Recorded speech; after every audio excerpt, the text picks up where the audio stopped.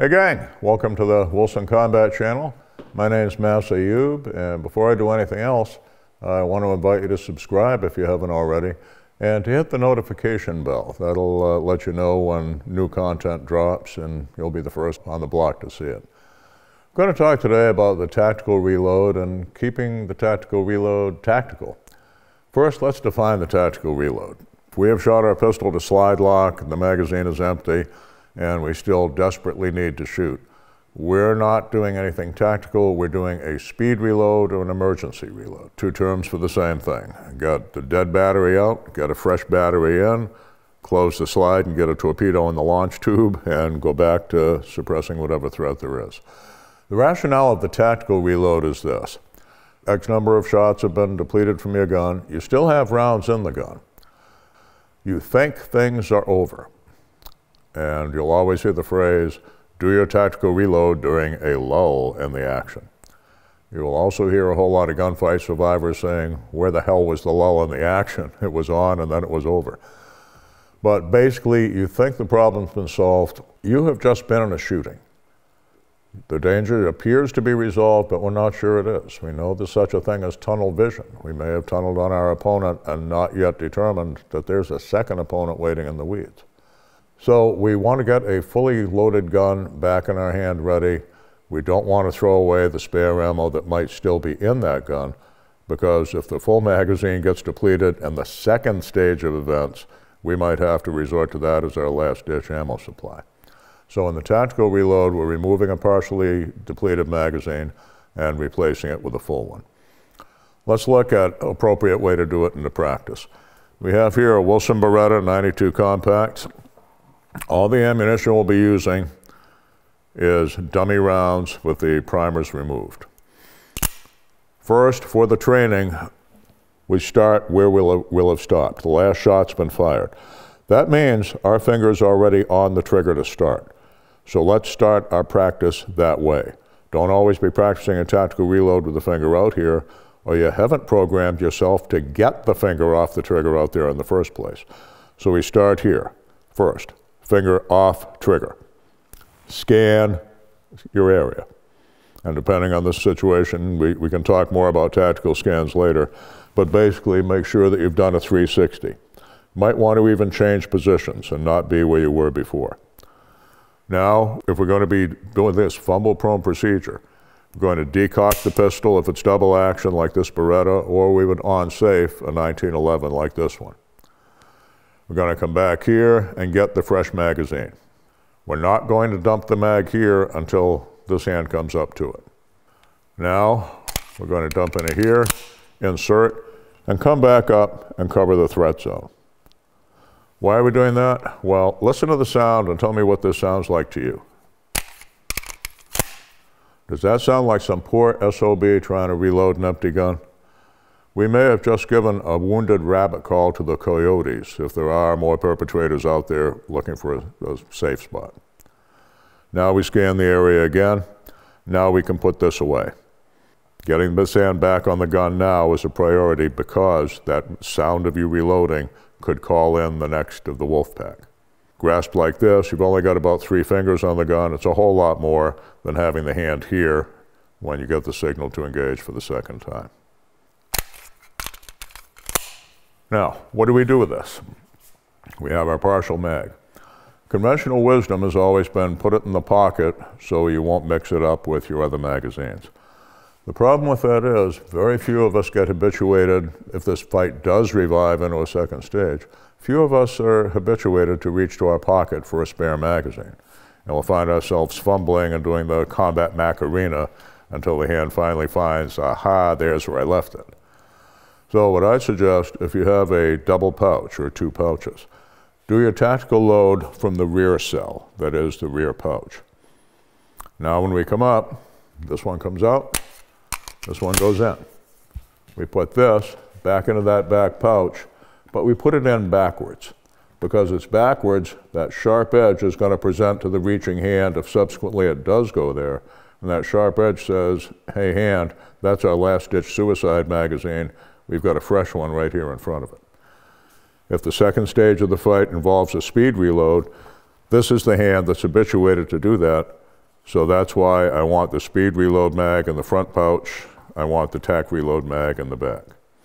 We'll look next at the actual manipulation of the tactical reload. There have been different approaches to the manipulation of the tactical reload. Some work better than others, and we'll show you the pros and cons of each and leave it up to you. One became known as the reload with retention in uh, IDPA competition, and that was remove the magazine, put it away, grab the fresh one, do like you would in a regular speed load, and then leave your position, advance, do whatever you had to do. Did you notice how long we were down to just a single shot pistol in our hand while that one hand was putting this one away and then reaching for the other one? That's longer than I want to be stuck with a single shot pistol. Another approach popularly taught by uh, a master shooter who's no longer with us was removing the magazine and putting it here and then inserting this fresh magazine and then putting this one away. I never cared for that. His argument in favor of it was that other techniques allowed the student to mix up the magazines and put the depleted one back in the gun. I just didn't see that happen, or maybe I just had a, a smarter level of students than he had been working with. This is not the way you want to be holding your pistol if a fight begins. It horribly compromises your grasp on the gun. Also, if you look close, this magazine here can get in the way and block a full insertion of the magazine you're trying to put back in. So that technique is one that I would not recommend to you. One that I always liked was come up with a spare mag, grab here, and snap in like that. It allowed me about 90% of a two-handed grasp very quick, scan the area, no problem, now I can put this away. The Trouble with it was, didn't work for every shooter with every hand. If you had, for example, a smooth-bodied 1911 magazine, you didn't have that little flange here that you know, could, could catch between the fingers and it could slip out. Uh, we found also people with shorter fingers had difficulty with it. So the one that I teach now is one that goes way, way back and has some great credentials to it. Uh, this was the technique that I believe was pioneered at Gunsight, by, actually prior to Gunsight, by Colonel Jeff Cooper, the founder of Gunsight and the American Pistol Institute. You'll see pictures of his hands on his signature gun performing that in one of Cooper's 1960 books. It was picked up on by Clint Smith, who uh, at one time was lead instructor at Gunsight. And I learned it from Clint uh, when my daughter and I took their advanced course at Thunder Ranch. And I found it worked very well for most people with most magazines, so that's what I went with. Essentially, we, we grab our fresh magazine. Now as we come up, look at my hand. we are doing this, the standard grasp that we'd have to insert during a speed reload. But now this is going to happen. We're going to move the index finger just to here, and what that does, we're holding the, the new magazine like we'd hold a cigar or something, but the thumb and the index finger now are free to do a pincher effect. They come under the gun, they catch that depleted mag and pull it out. Now just rotate into here, roll this hand out so it doesn't block the insertion, slap it in, back up on the threat. We've got three fingers wrapped around here. We've got our threat covered. Okay, we, the sound of us reloading has not drawn in a secondary attack. Now we can put this away wherever we've chosen to put it and come back to here. Again, remember that the tactical reload will begin on safing the 1911 type pistol or decocking the double action. So again, what we're looking for, about like that. If it's going to be a tactical reload, you want to do it tactically. Take into account there could be a secondary assault. That lull in the action could be very temporary. You want a loaded pistol back in your hand, ready to go as soon as you can. You want to decock or unsafe because it's a fumble-prone procedure.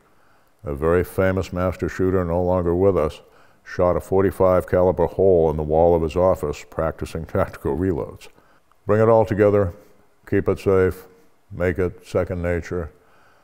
I'm not sure you'll ever need it in a gunfight. None of us know if we ever will. But you know what? If you're in a cl- shooting class and there's a muddy, muddy range and you really don't want to be dumping your empty mags into the dirt, or you're on a public range and if the, you drop the magazine and it bounces off the table downrange, you can't retrieve it until much later. This allows everything to be saved and you're cool. And looking cool is important in the 21st century in America. We'll catch you down the road at other Wilson Combat presentations.